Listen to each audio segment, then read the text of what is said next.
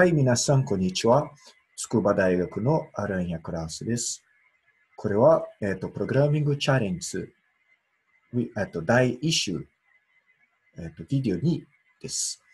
このビデオでは、えっ、と、このプログラミングチャレンジ授業の仕組みを説明します。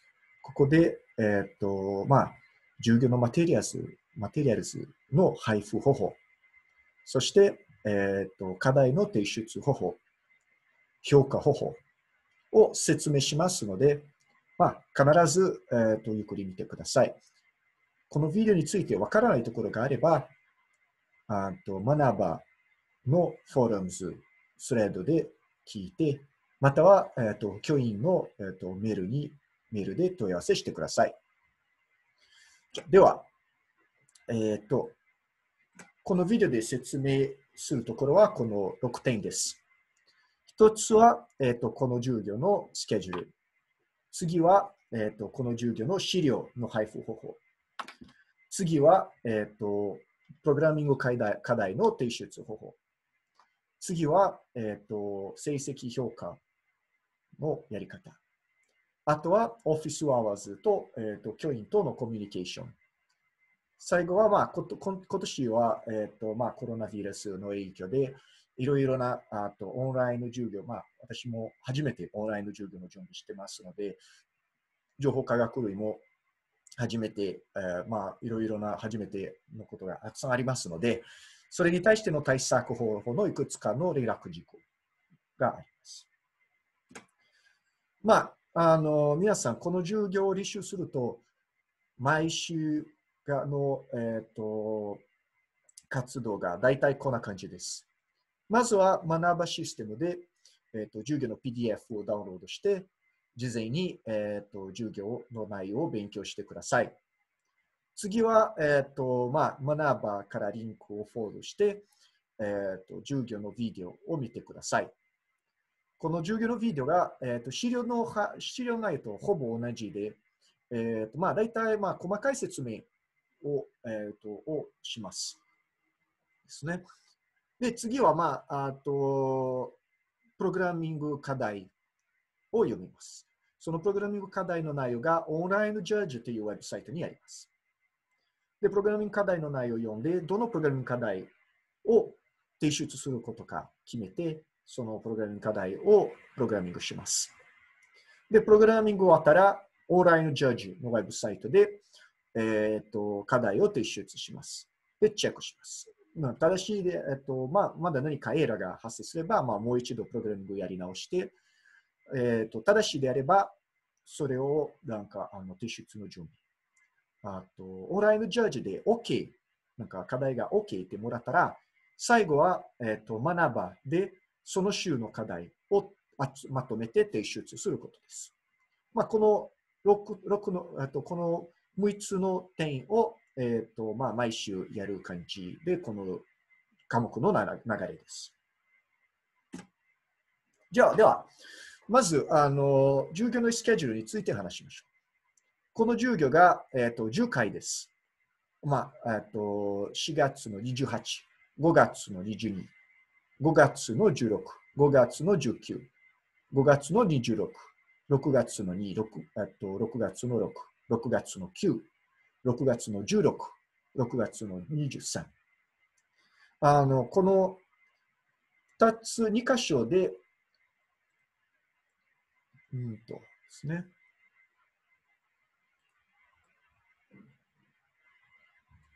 この2箇所で青く見えるんですけど、この2箇所は土曜日です。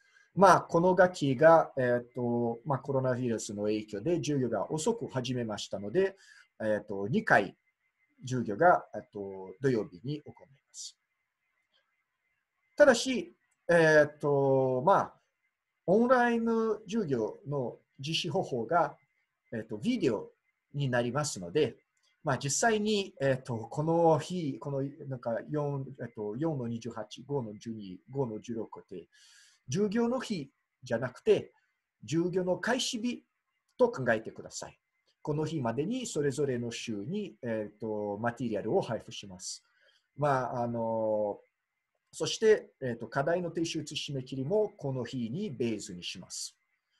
実は実はいつ授業を見るのか、どこで授業を見るかは、まあ、皆さん自分であといい環境を確保して、その環境で、えーとまあ、授業のマテリアルを読んでください。では、まあ、じゃあ締め切りというと、あの課題の締め切りが基本的に、えーと、毎週の開始日の10日間後です。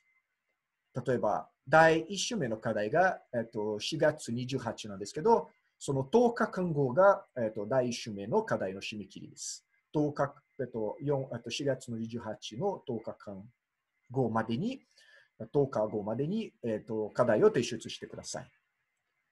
なお、あのこの授業で、まあ、あと、まあ、いろいろみんな自分の状況があるので、と遅れて課題を提出することがありますですね。遅れて課題を提出することは可能なんですけど、えっと、最後の最後の締め切りが7月の7日です。7月の7日の後にもう課題を受け入れられません。ですね。なぜかというと、まあ、それはあの成績評価の締め切りで、えっと、成績が、まあ、あの、これから見せるサイトで成績は、あの、動的に確認することができるんですが、えっと、まあ、最終の締めの成績が、えっと、7月の13に、えっと、発表する予定です。それは学ばで確認することができます。それは学ばでアナウンスします。ですね。えっと、この13の後に、まあ、自分の成績を見て何か質問とか気になるところがあれば、先生と、えっと、メールとかで連絡してください。まあ、これは、えっと、今の時点で、えっと、4月28の時点時点でのスケジュールなんですけど、まあ、これが変わらないでだろうなと思うんですが、まあ、あとコロナあとウイルスの、えっと、状況が動的に変わっていくですので、ここに、えっと、変更がある可能性がもちろんあります。まあ、変更があれば、できるだけ早めに学ばの、えっと、アナウンスで、えっと、アナウンスしますし、あと、なんか、あとその、このコースが GitHub のページもありますので、GitHub のページでもアナウンスします。それをぜひ見てください。ちなみに、このビデオで説明している情報がすべて学ばで載ってますので、あのそちらでも確認してください。では、まあ、じゃあ資料について。このコースの資料が、えーと、主に2箇所から、えーとアクセスすることができます。一つは学ばシステム。もう一つは GitHub ページです。学ばシステムが、えーと、特に学ばだけ、学ばでしかできないことが、あのそのコースのニュース、コースのアンケート、コースのフォーラムです。あとは学ばで、えーと、この課題に履修履修している人を、えーと、課題を提出する場所です。学ばのリンクが、えーとここにあります。この PDF をダウンロードしているなら、このリンクをクリックすることができます。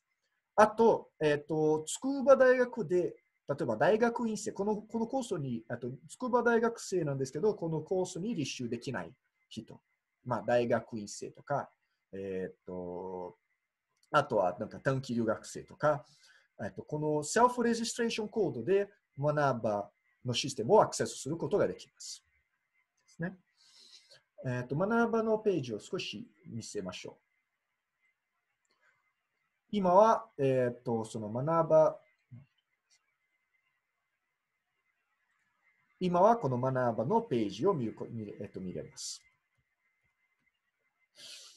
うんとまず、ホームページから、あ、すみません。アクセス切れましたね。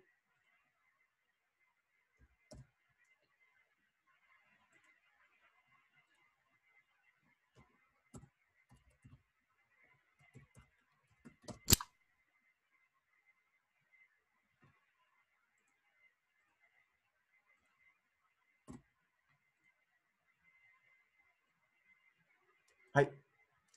えっ、ー、と、はい。これは、あの、学ばのプログラミングチャレンジのコースです。これは日本語に変えましょう。プログラミング、まあ、学ばのコースの中から、プログラミングチャレンジに入って、ここがプログラミングチャレンジですね。で、えっ、ー、と、プログラミングチャレンジの、えーと、重要なところが、えっ、ー、と、コースニュースですね。これは必ず頻繁にチェックしてください。あの新しい資料を出すときにここにアナウンスして、えっ、と、まあ、他に重要なところ、重要なことがあるときに、あとこれもアナウンスします。まあ、ここはアナウンスするとメールにも流すことがありますが、まあ、必ずここでアナウンスしたものを確認してください。次はコンテンツ。このコンテンツの中に、 course information。course information が今日の、今のビデオで説明していることが、えっ、と、記載しています。もう一つがレクチャーノーツ。レクチャーノーツが、まあ、この PDF を載ることですね。あとは、ビデオのリンクもレクチャーノーツに、えっ、と、入れます。あとは、アンケート。アンケートは一番重要なところが、この必修 What's your online judge account のアンケートです。これは必ず、えーと、回答してください。もう一つが、えーと、その自己紹介アンケート。まあ、これは皆さんの、えーと、プログラミング能力とか、えー、とプログラミングコンテストの経験とかを知りたいんですので、まあ、ぜひ、えー、とセルフイントロダクションサーベイをご協力をお願いします。あとは、レポート。ここを見ると、なんかその課題の提出のレポートがここに並んでます。ここで、なんかその課題提出のリンクがあります。それはこれから説明します。はい。あとは掲示板ですね。掲示板が、えっ、ー、と、まあ、この問題のちょっとわからないとか、この問題についてヒントとか欲しいなら、まあ、ここでスライド作成して、ここに書いてください。まあ、これは大体の、えっ、と、学ばのプログラミングチャレンジページとなります。はい、あとはあの GitHub ページです。まあ、GitHub ページは基本的に、えっ、ー、と、えっ、ー、と、配布資料が同じです。レクチャーノーツと、えっ、ー、と、資料。で、えっ、と、まあ、つくば、学ばはつくばにの学生だけをアクセスしかできないんですが、えっ、と、まあ、GitHub はまあ誰も誰でもアクセスができます。ただし、なんかニュースとか評価とか、えっ、と、そして、そして、あと課題がアクセスができます。えっ、と、GitHub が、うんと、ここにあります。ですね。プログラミングチャレンジという授業です。で、見てる通りに、えっ、ー、と、コースアウトラインがあって、ここはクラスのシラバス。まあ、シラバスはみんなシラバスのウェブサイトで見たことあると思いますし、あとは、まあ、あと、それぞれの週のビデオレクチャーが入っています。まあ、ぜひ、あと、こっち、あの、もし、えっ、ー、と、学ばがアクセスができない場合、なんか、講座、システムがみんな同時に授業のためにそのそこでアクセスするときに学ばがアクセスできない場合だと、え、ー、と、GitHub のページもぜひブックマークしてください。で、えっ、ー、と、次は、じゃあ、えっ、ー、と、問題、課題提出の方法について説明します。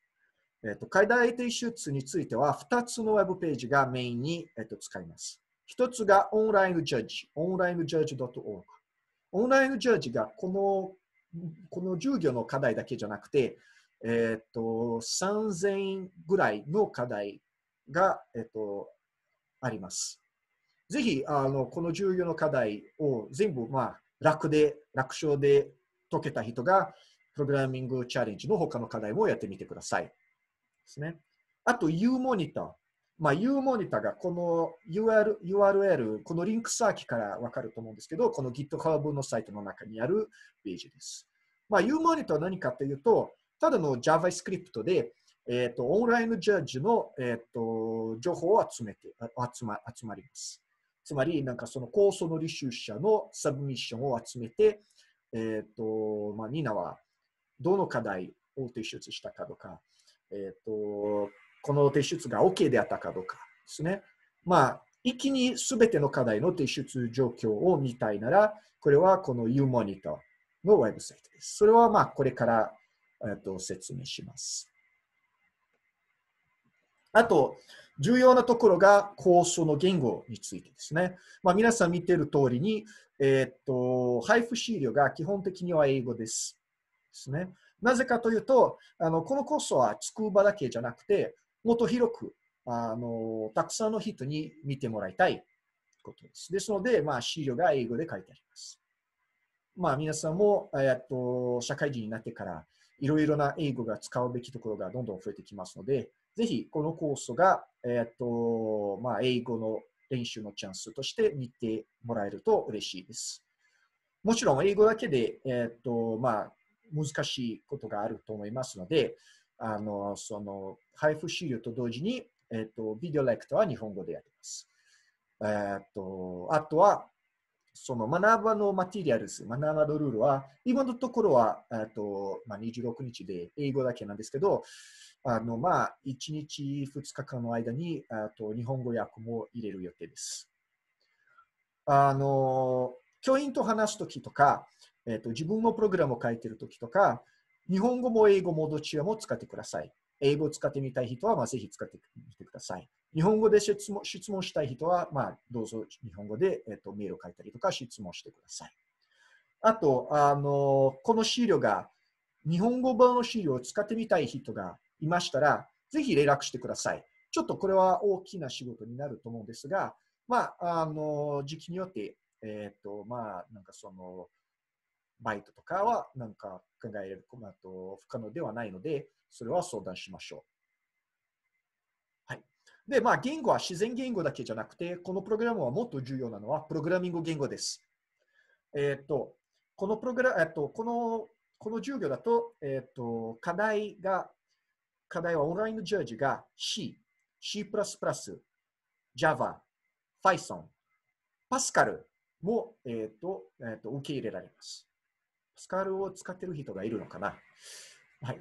あの、まあ、あの自分のレコメンデーションが C++ です。C++ が一番あのこのコースだと安全な言語です。ほとんどのあとプログラミング例が C++。まあ、または Python のプログラミング例も出てきます。でももちろん自分が C が得意なら、まあ、C を使ってください。Java が得意なら、えっと、Java を使ってください。あと、あのこの授業のテキストブックです。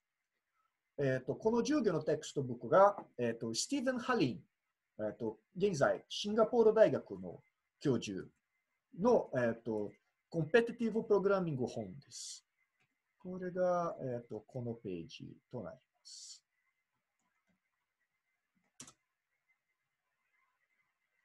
これですね、えっ、ー、と、コンペティティブプログラミングっていう本を使っています。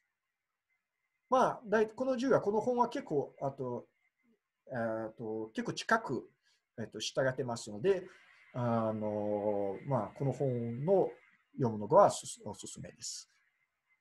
あとは、この授業で役に立つ本がいくつかあとリストしました。このプログラミング、あとスティーブン・スキエナ先生とミゲル・レヴィラ先生のプログラミングチャレンジ。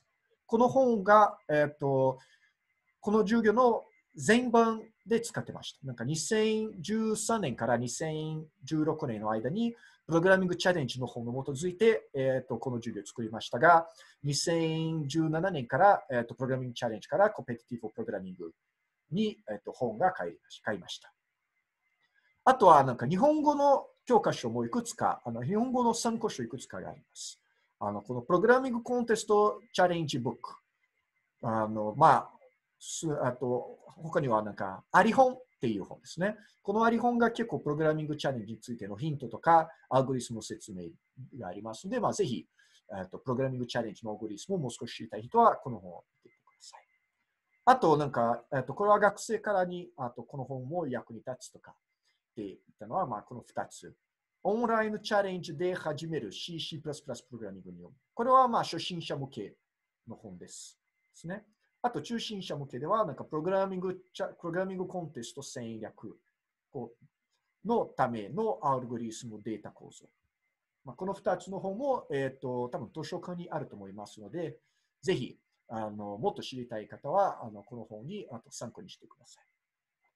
ただし、えっと、この授業には、まあ、その4つ、まあ、この5つの本は買う必要がないんですね。あの、資料をフォローして、えーと、課題を提出することが十分ですが、でもぜひ、もっとよりあとより深く勉強したい人は、あのこの本の購入を、えーと、検討してください。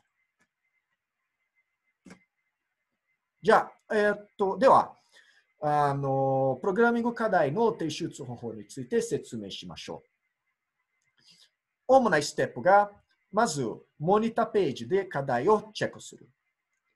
次は、オンラインジャージで課題を読んで解く。次は、えっと、オンラインジャージで課題を提出する。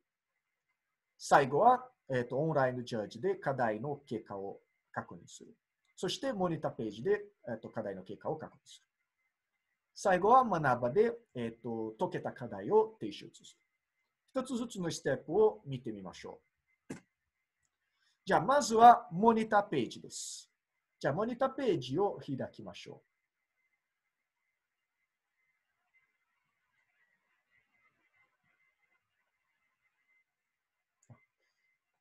う。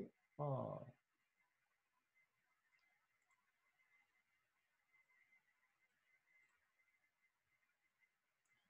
はい。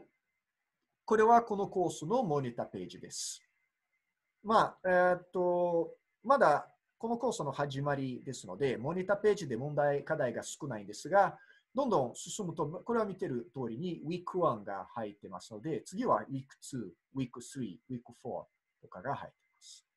ここでクリックすると、今週の課題が出てきます。ですね。ここはどんな情報が入ってますかですね。一つずつ見てみましょう。一番トップが、まあ、今週のテーマ、イントロダクションとアドホックです。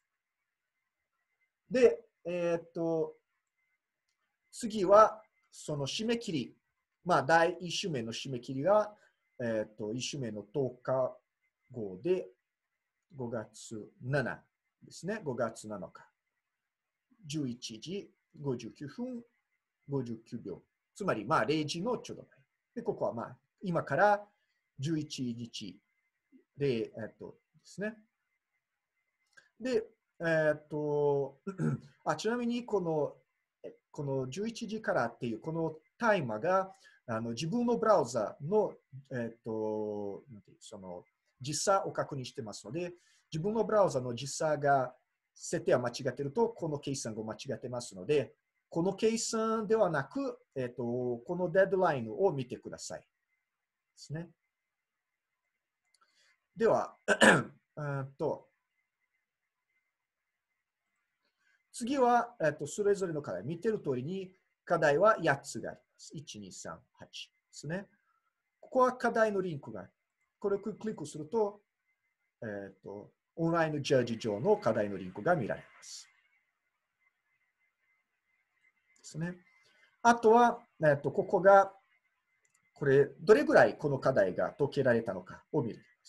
一番最初の準備が、一番最初の、一番最初の番号が、えっ、と、学生の中に何人がこの課題が解けました。次は、えっ、と、学生の中に何何人がこの課題をやってみました。で、次は、学生何人がいます。で、まあ、今見ると、なんかまだ学生が、あと、このサイトに僕は登録してないので、自分のアカウントしかないので、あの、僕が、まあ、課題1を解けた。で、課題2を提出したけど、まだ解けてない。で、課題3から8はまだ提出してない。という状況です。ここがエクザンプル問題は見れるけど、エクザンプル問題が、えっと、まあ、これは、えっと、課題になってないだけで、まあ、ただ試しとしてを使ってください。ですね。このマイステータスについて後を説明します。じゃあ、毎週見るのはこの課題のリストを見て、課題をクリックします。ちょっとで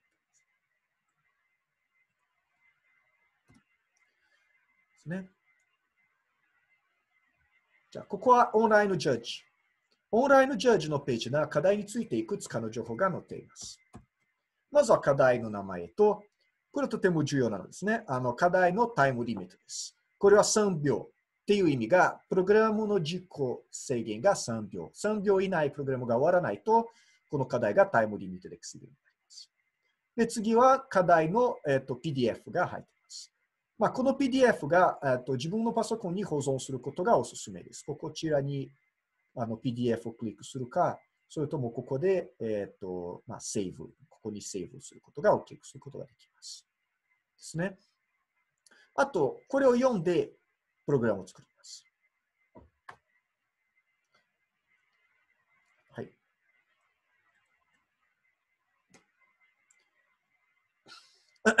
これは、あとか、プログラミングのなんかタイムリミット以外には、まあ、これは課題の内容と、これはまあ前回のビデオのと 3n プラス1の問題です。で、この最後にサンプルインプットとサンプルアウトプット。このサンプルインプットとサンプルアウトプットが、えーと、自分でもあと課題を解くときに、このサンプルインプットとサンプルアウトプットを使ってください。これ後で、えーと、例を挙げます。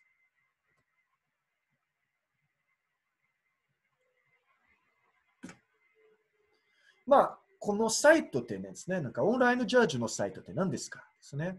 このオンラインジャージが、えっ、ー、と、University of Valladolid、スペインの大学が作ったサイト。まあ、これは、このスペインの大学がもう20年前作ったサイトなんですけど、現在、えっと運営えっと、運営が独立になりました。これは20万プログラミングチャレンジじゃなくて、オーバー2000プログラミングチャレンジ。ちょっとこの数字が一桁が違いますね。で、えっと、重要な点が2つです。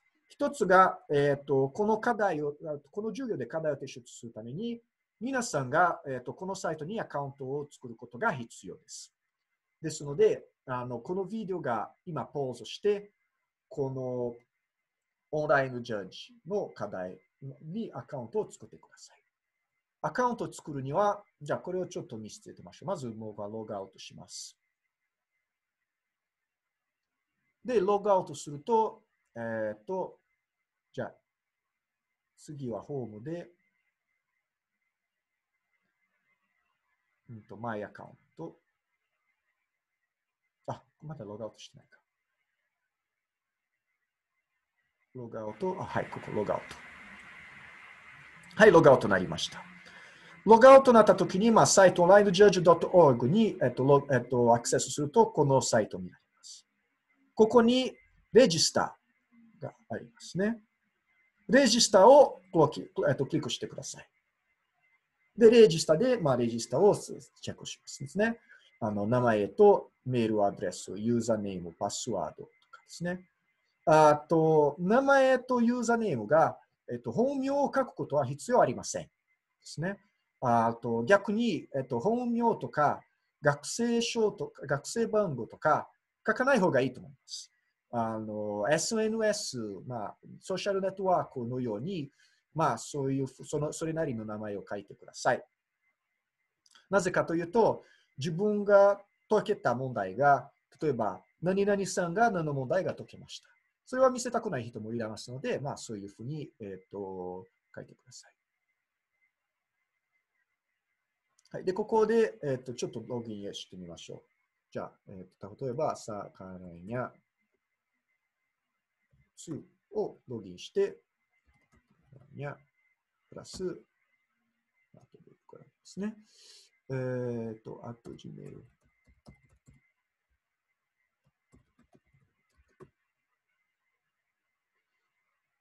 オンラインジャージ2。で、ユーザーネームが、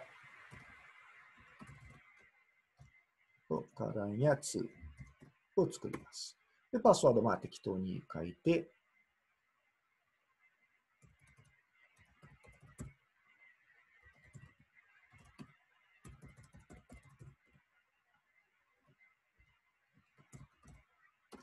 で、これは、あのこれは何も書かなくていいですし、ここは重要なところで、えっ、ー、と、結果が出るときにメールが来ることです。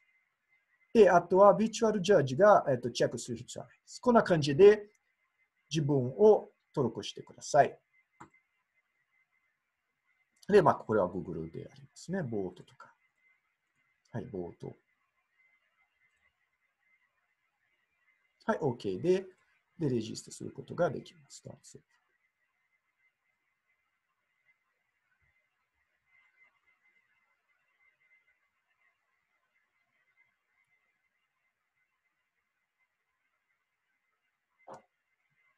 はい、レジストレーションコンプリート。ですね。で、ここはなんかメールが来ますので、そのメールをチェックします。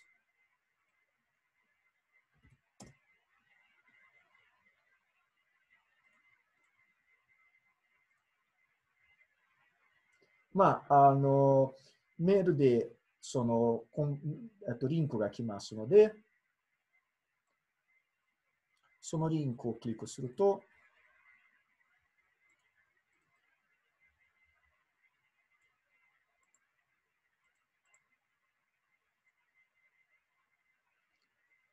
Your account is now active. ですね。これ、このメッセージが出ます。で、これログインして、お、なんか間違った。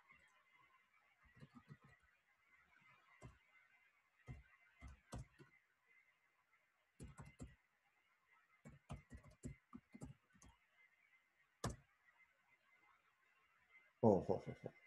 パスワード書いたばかりのに、えっ、ー、と、パスワードも忘れました。まあ、はい、こんな感じです。あと、は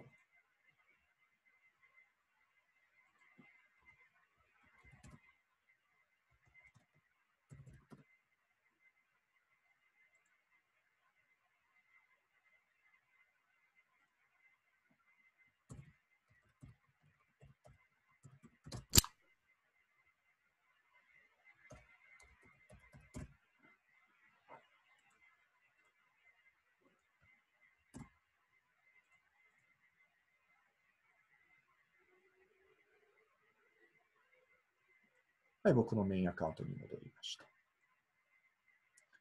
で、えっ、と、はい。ですので、皆さん、各自のアカウントを作って、まあ、パスワード忘れずに、あの、アカウントの、えーと、名前を学ばの、えーと、アンケートに書いてください。ここの学ばでいくと、ここにアンケートがあって、この中に What's your online judge? アカウントがあって、この中に、えっと、アカウント名を書いてください。こうすると、こうしないと、えっ、ー、と、僕が、皆、皆さんがどの問題、どの課題を提出したか、どの課題を提出してないかを確認できないので、ぜひ、あの、できるだけ早めにこのアンケートを回答してください。あと、あと、2回重要なところです。オンラインジャッジが、あと世界中いろいろな人が、えっ、ー、と、アクセスしてますので、まあ、皆さん、えっと、いろいろな人はプログラムを、えっと、送っているので、まあ、たまに、えっ、と、オンラインジャージが、えっ、と、落ちてアクセスができなくなることがあります。うんと、まあ、まあ、メンテナンスの時間もあるし、このジャージがヨーロッパで走ってますので、メンテナンス時間が向こうの、えー、と深夜、つまり日本の朝になるので、たまに日本の朝で、えー、とメンテナンス中することがあります。もし、えー、とオフラインであれば、まあ、ちょっと待ってて、数、なんか10分とか15分とか待ててもう一度アクセスしてみてください。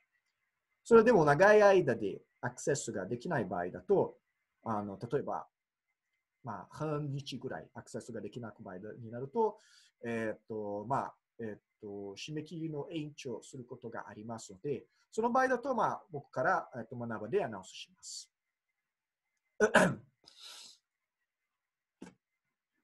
じゃあ、では、えっ、と、オンラインジャッジで、えーと、問題を提出しますですね。例えば、えーとまあ、前の通りに、これに戻りましょう。3n プラス1問題を読んで、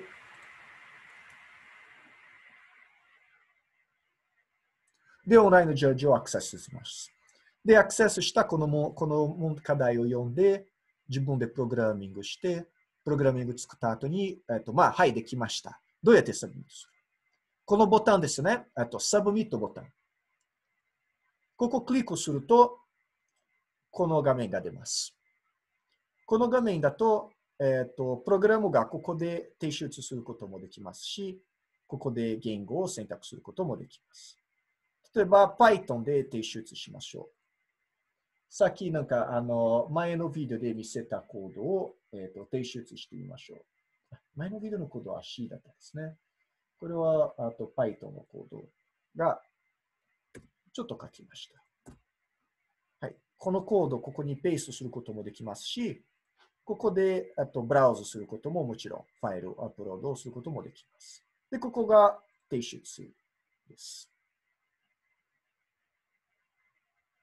で、ここはまあ、サブミッション ID が出ました。イェイ。じゃあ、これは結果はどうなるんですね？ここが、えっ、と、My Submissions っていうリンクがあります。あと、オンラインジャッジの下に、えっ、と、My Submissions。My Submissions を見ると、最近提出したものです。これ見てますね。なんか、えっ、と、3N プラス1問題で、Python で、今日の日付で、in judge queue。つまり、えっ、と、今のところは、えっ、と、チェック中です。これを、なんか、この、たくさんの人がと同時にこれ使ってるので、これちょっと時間がかかるけど、まあ、えっ、と、20秒とか1分とか2分とかが結果が出てきます。この場合だと、なんかログインの時に、結果が出るときにメールをしてくださいというオプションを選択すると便利です。ですね。ちょっとこれを F5 リロードしてみると、あ、ほら、タイムリミットで exceeded。面白いね。じゃあ、これは、このメッセージは何の意味なのかですね。これを見てみましょう。うんと、この My Submissions のところで、いくつかの結果が出ます。まずは Accepted ですね。ここに Accepted があるかな。あここをですね、accepted。accepted という意味が、えーと、このプログラムが正し方です。accepted もらったら、もう万歳。このプロこのこの課題が OK で、これを、この課題を提出しても OK です。次は presentation error。presentation error はちょっと珍しい結果なんですけど、 presentation error が、えっ、ー、と、結果が正しいですが、あの、小さな問題があります。小さな問題って何かというと、スペースが多いですとか、えっ、ー、と、小文字大文字の間違いとか、まあ、本当にスペースとか、家業、例えば最後に家業が忘れたとかですね。それをちょっとチェックしてください。あの、まあ、プレゼンテーションエラーはなかなか見れないと思うんですけど、えっ、ー、と、見たら、まあ、そういうふうな小さいな問題ですので、もう少し、えっ、ー、と、内容を細かく見てください。あとはロングエンサー。ロングエンサーが、まあ、この通りです。えっ、ー、と、期待されているアウトプットを出力しなかったですね。あの、2プラス2いくらですかって言ったら、あなたのプログラムが5って書いたら、ロングエンサーに書いて出てきます。ですので、プログラムをデバッグを始まる時間です。これはよく見る。で一番よく。あと、タイムリミットで exceeded ですね。タイムリミットで exceeded はここが見れます。タイムリミットで exceeded が何かというと、えっと、時間が、時間切れです。えっと、3秒以内で、えっと、そのプログラムが実行することができませんでした。一つ気をつけないといけないのは、これは、えっと、UV、えっと、オンラインジャッジのマシンの3秒、あなたのマシンの3秒ではないですね。あなたがすごい強いマシンが持てれば、あ、これは3秒以内だったよとかって考えても、向こうのマシンで3秒じゃないとダメですので、あの、それを、えっと、理解してください。そうすると、まあ、そのプログラムを見て、どうやってプログラムを早くさせるのかを考える時間になります。それはまあ、次のビデオでそれについて少しお話しします。あとは、メモリリミットで exceeded。これはたまにやります。特にメモリゼーションは、えっと、うまく書かないときだとメモリ。まあ、タイムリミットエクシーデみたいに、えっと、メモリを使いすぎて、えっと、ダメでした。ですね。最後は、 runtime error。runtime error ということが、プログラムが、えっと、 segmentation fault になった。ですね。まあ、よくあるのは、あの C の場合だと、ポインターエラーですので、えっ、と、Java の場合だと、 null pointer exception とかですと、えっ、と、Python もの場合もあります。runtime error の場合があるときに、よく一番多くあるのは、えっ、と、そのインデックスのミスですよね。えっ、と、インえっ、と、存在してないインデックスをアクセスしてみると、えっ、と、 runtime error よくあります。まあ、これも、えっ、と、デバッグの時間になりますね。最後にこのリストにないのは、えっ、ー、と、ここですね。 compilation error。compilation error はその通りです。えっ、ー、と、 compilation ができなかった。コンピレーションエラーは、えっと、自分でコンパイルすれば、こちら、えっと、オンラインジャッジ上でも、えっと、問題がないはずなので、えっと、僕の My Submission で書いているコンピレーションエラーが、えっと、わざと、えっと、コンピレーションエラーをしたからです。ですので、まあ、コンピレーションエラーがそもそも見ることがないと思うんですので、自分のパソコンでちゃんとコンパイルできてるかどうかを確認してください。あと、えっ、と、まあ、特に C の場合ですと、コンピレーションフラグがあるので、サブミッションするときに、サブミッションページでチェックすると、まあ、ここで見れます。コンピレーションのフラグがありますね。このコンピレーションフラグは自分でも使えば、コンピレーションエラーがないだろう。ですね。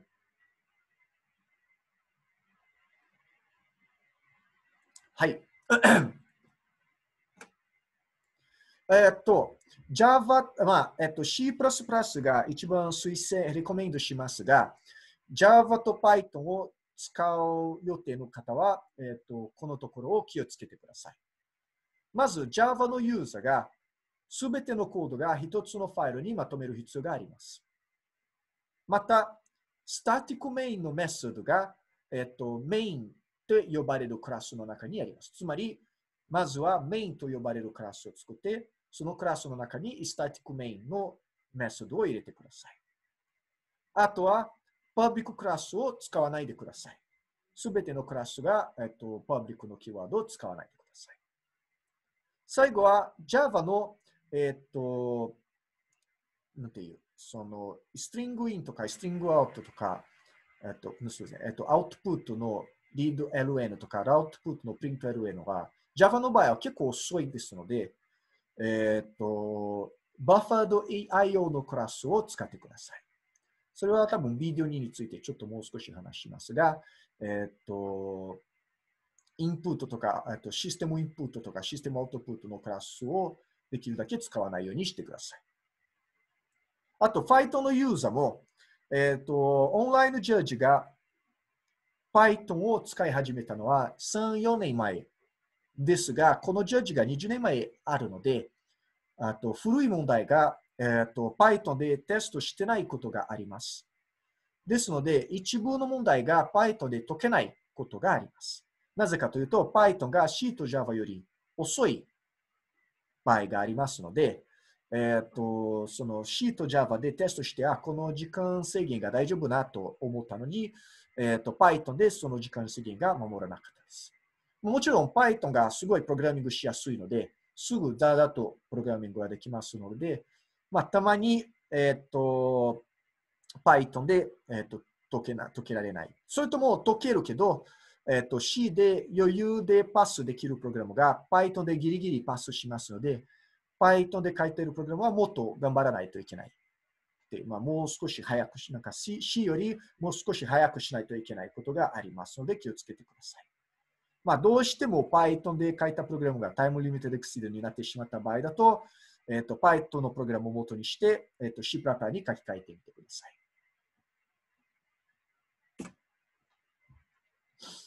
では、プログラムをサブミットしました。プログラムをサブミットしました後に、えっ、ー、と、モニターで戻って、自分の、えーと、提出状況が見ることができます。ですね。うんと例えば自分のユーザーの名前を書いて、多分カーランヤを書け書いてみると、どの問題が提出したか、どの問題提出してないか、ここで表示します。まあ、これ見てる通りに、3 n プラス1が accepted になりました。でも、コストカッティングが not accepted になりました。これはどの問題、まだ、え、っとどのどれぐらい問題をアクセプトしたのか、えっと、一気にチェックすることができます。例えば、このリレーショナルオペレーターを提出してみましょう。うんと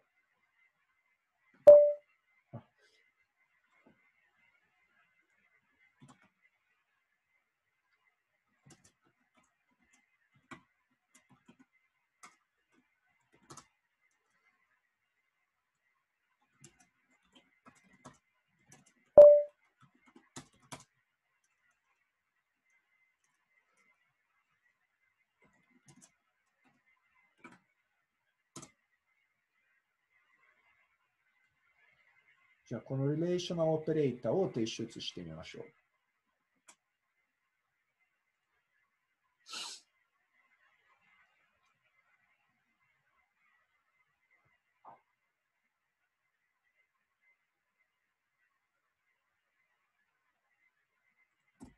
これは C++ ですので、C++ をコンパイルします。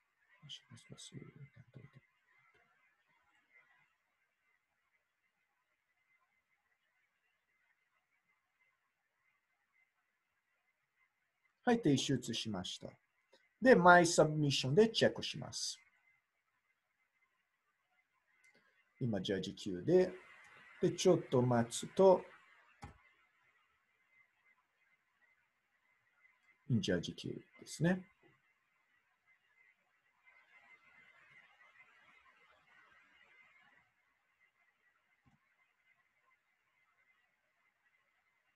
まあ、まだいいです。じゃあ、ちょっと前に進む。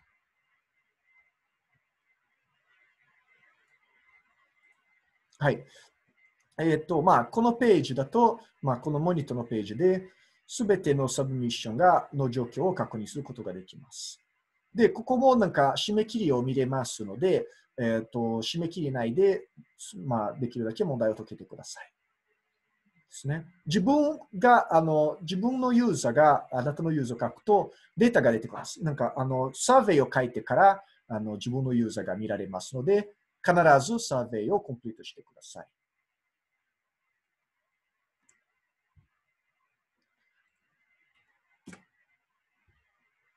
で、はい、えー、っと、課題をコンプリートした後に、えー、と学ばにコードを提出する必要があります。すべてをアクセプテッドになった課題を、えー、と一つのファ ZIP ファイルに入れて、えー、と提出学ばに提出してください。例えば、えー、とあなたがなんか、えー、と S2020 学生基盤と2020999筑波太郎 Week1 の .zip で、その中にえっ、ー、と、課題1の CPP、課題2の CPP、課題3の Java、課題5の CPP。1、2、3、5の課題を提出しました。それをすべて ZIP ファイルに入れて、学ばで、えーと、提出してください。こうこれをしないと、オンラインジャッジにサブミットしても、学ばに提出しないと課題が提出とカウントしない。学ばだけでプログラムを提出して、オンラインのジャッジにセ、えーと、サブミットしないと、それもカウントしない。両方が必要。まず、オンラインのジャッジにサブミットして、オンラインのジャッジから OK もらったら、まだ学ばに提出してください。あ、ジャッジが終わりました。で、これ見てる通りに、さっきの提出した Relational Operator が accepted になりました。で、これは、えっ、と、もうプロブレムモニターでもう一度見ると、からにこれをもう再とリロードしないですね。リロードして、で、これを GO します。あ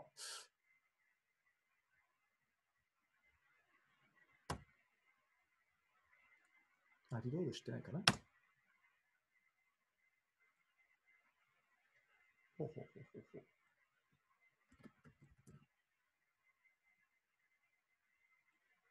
うん。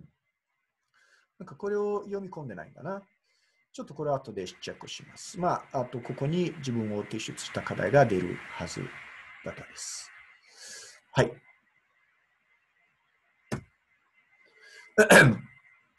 では、えー、っと、成績、えー、っと、成績評価についてお話しましょう。成績評価が、えー、っと、まあ、自分があなたがどれぐらい課題を提出したのかによって決めます。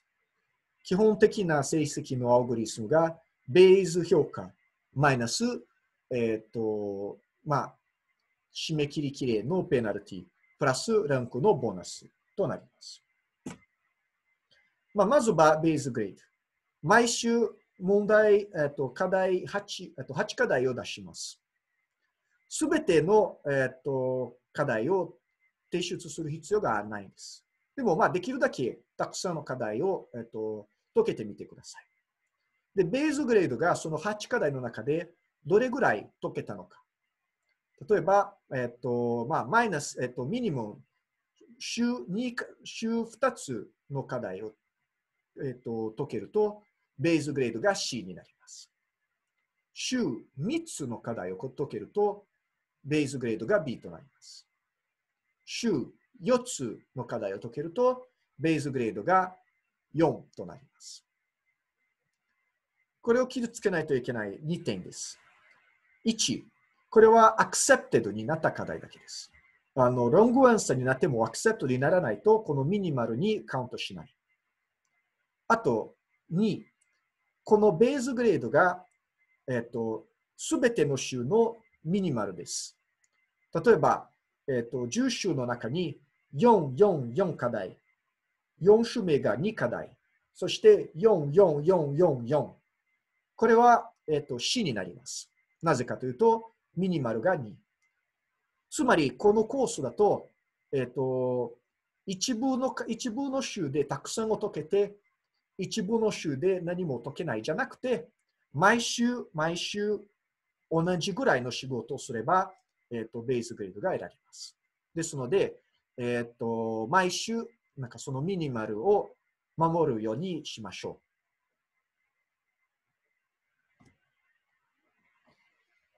あとは、なんかその締め切り切れのペナルティ。これは何ですかというと、毎週締め切りがありますが、まあ、もちろん皆さんは病気になったりとか、えーとまあ、何か予想ができないことがあるので、えーと、課題が遅れることがあり得ます。ですね。ですので、えーと、一部課題を遅れても許せます。それを超えたらペナルティになります。えっ、ー、とゆるゆゆ許すのは25%。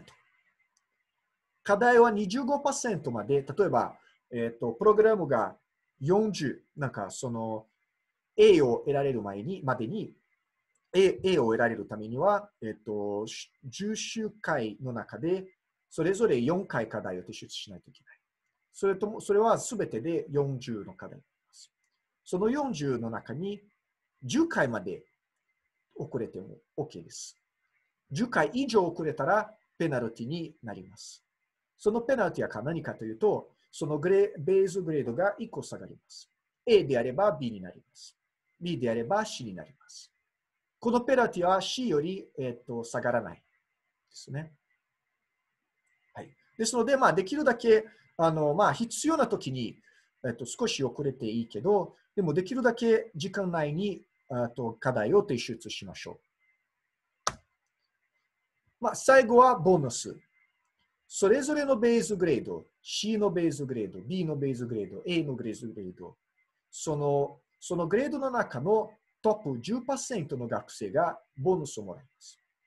例えば、えっと、A グレードを得られるためには40課題が全部で40課題、合計40課題が提出するが必要。まあ、ミニマル週4課題ですね。でも、8課題があるですよね。だから4課題じゃなくて、毎週5課題を提出する人とか、毎週6課題を提出する人とか、その合計の最大の10%のトップが、えっ、と、ベースグレードが上がります。C の中から B、B の中から A、A の中から A プラスです。ですので、まあ、A プラスに目指している人が、まあ、できるだけ、えーと課題をたくさん解きましょう。ですね。あの、イがあった場合だと。例えば、なんかこの、あと、10人が A になりました。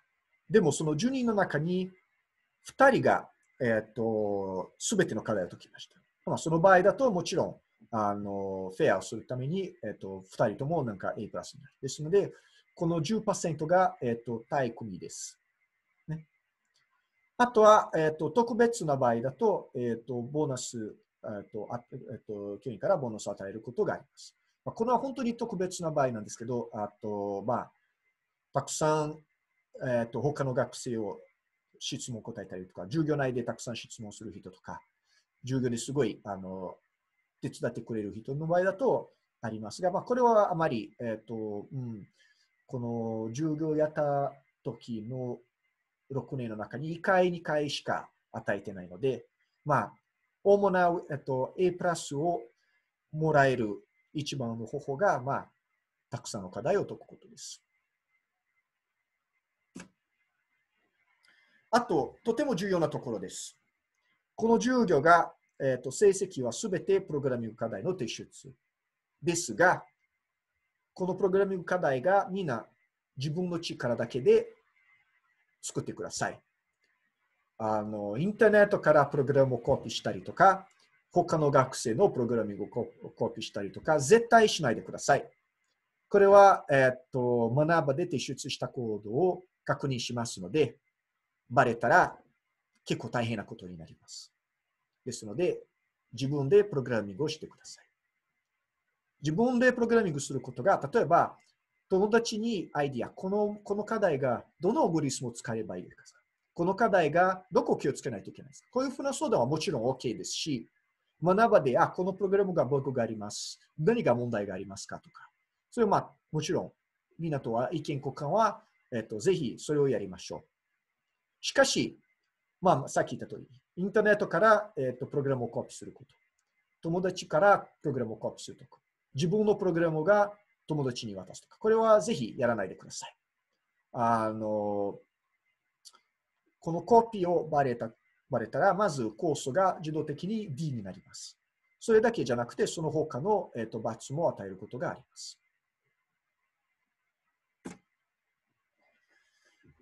では、えっ、ー、と、最後に、えっ、ー、と、教員とのコミュニケーションですね。僕が何か連絡があったときに、新しい資料がありましたとか、なんか、あの、資料のバグが直しましたとか、その、それがあるときに学ばでアナウンスします。ぜひチェックしてください。あとは、えっ、ー、と、資料が、えっ、と、GitHub と学ばで、授業の日までに、えっ、と、配布します。まあ、前も言いましたですけど、この楽器は、えっと、オンラインの授業だけですし、それで、えっと、オンラインのミーティング式の授業がないんです。えっと、でも、えっと、その授業の時間、火曜日の3弦、4弦がオフィスアワースになります。